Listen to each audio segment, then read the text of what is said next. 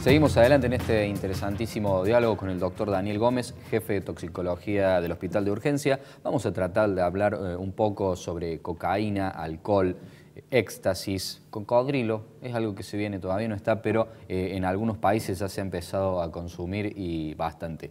Doctor, a ver, usted recién había dicho que la cocaína produce una adicción psicológica. ¿Cuáles son los daños? Este... Tipo psicología. el daño es terrible, lo que hace cocaína es tapar receptores de recaptación de drogas como las catecolaminas.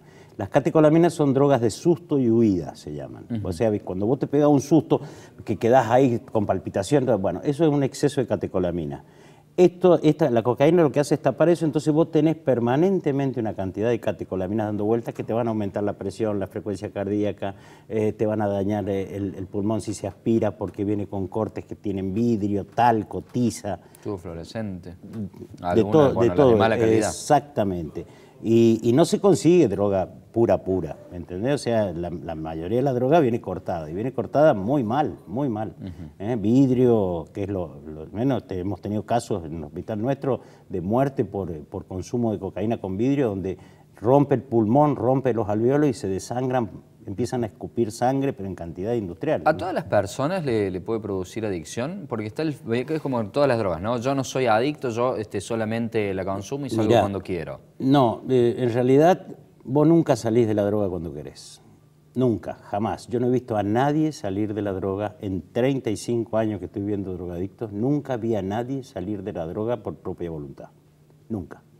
Y quien me diga que se curó eh, de la droga eh, hay que ver, eh, eh, un exadicto es un adicto que hoy no consume, mañana no sé, vive luchando el resto de su vida por no volver a tomarlo. ¿El éxtasis, doctor?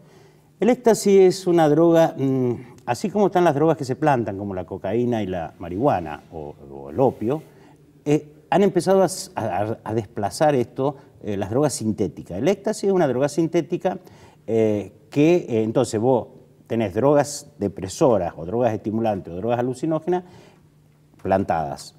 Pero estas drogas sintéticas vienen a reemplazar estas depresoras, estas estimulantes. En el caso del éxtasis es una droga que viene a reemplazar a la cocaína.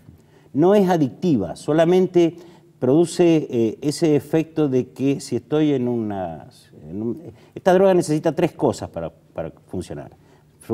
necesita música tecno o música que te pegue, ojo, eh. música tecno en general, música, por eso son drogas de marcha Música tecno, luz psicodélica que te engaña el cerebro y que vos no veas bien cómo estás pisando, como si estuvieras pisando en el aire, y una temperatura superior a 30 grados. Por eso es que en los lugares donde esta droga vos la podés buscar son lugares cerrados.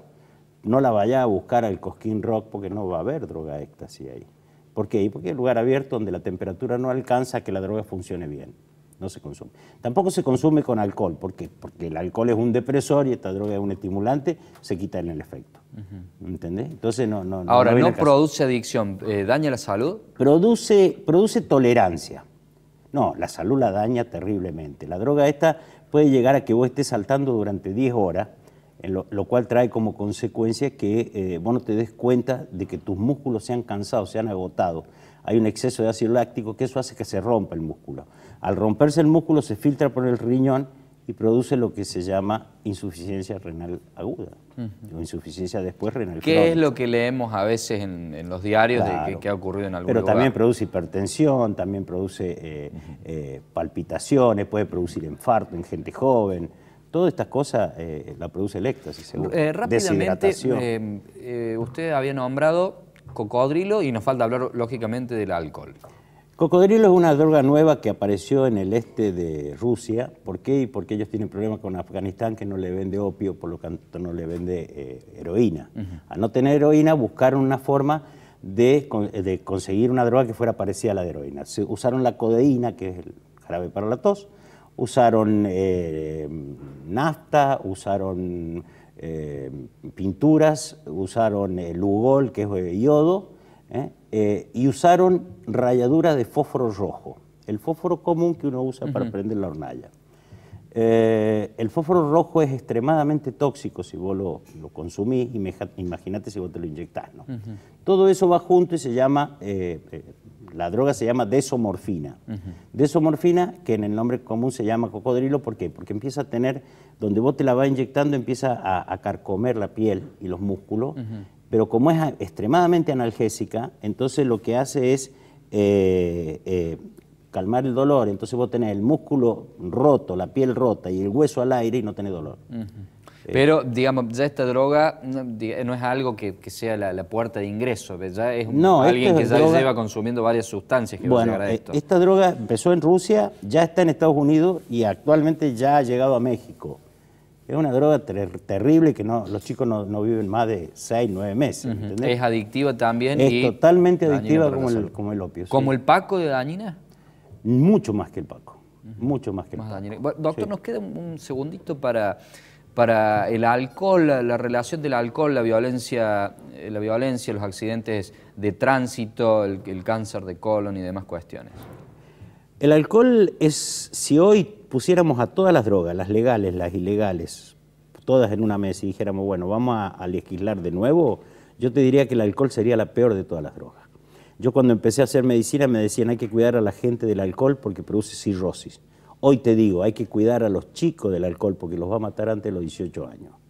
¿Me entendés? ¿Por qué? Porque el alcohol te quita eh, las defensas, eh, te quita las reacciones, te quita el tiempo de respuesta, te quita un montón de cosas. Y entonces vos estás viendo en los fines de semana eh, que hay accidentes de todo tipo, inclusive accidentes estúpidos de, decir que no, no, cruzó bien la calle y se pegó con el cordón de la vereda, o el, espejo del colectivo le pegó en la cabeza, eh, o se pasó y no se dio cuenta que venía el auto y se lo llevó. Eh, ni hablar de manejar y ni hablar de andar en moto o en bicicleta, ¿me entiendes? Porque el alcohol te quita el equilibrio también, te desinhibe, por lo cual también hace que te golpeen fácilmente, voy a hacer cosas estúpidas en la calle, como por ejemplo desinflar la cubierta a un, tipo en la calle y que está arriba del auto te pega y te golpea. Doctor, ¿y eh, cuánta gente que toma alcohol pasa a tener adicción? A ver, si yo empiezo, si 10 personas empiezan a tomar o 100 personas, no sé cuál sería el porcentaje que usted quiere utilizar, ¿cuánta termina en adicción, en problema? En dependencia al alcohol. Exacto. La dependencia al alcohol trae como consecuencia algo que se llama cirrosis. Trastornos hepáticos cirróticos. Eh, eso en lo mejor de los casos, ¿no? Pero eso lleva 25 a 30 años. El 10% de la población que consume alcohol va a ser cirrótica. Enorme el número, doctor. Pero el 90 se va a morir antes. Le, agradecemos por haber formado parte del espacio y por todo esto que nos ha traído para desburrarnos un poco. Un gusto, ¿eh? Igualmente. Muchísimas gracias. El doctor Daniel Gómez con nosotros, jefe de toxicología del Hospital de Urgencia. Nos despedimos hasta la semana que viene para hacer otro Meridiano 64. Siga compartiendo nuestra pantalla hasta entonces.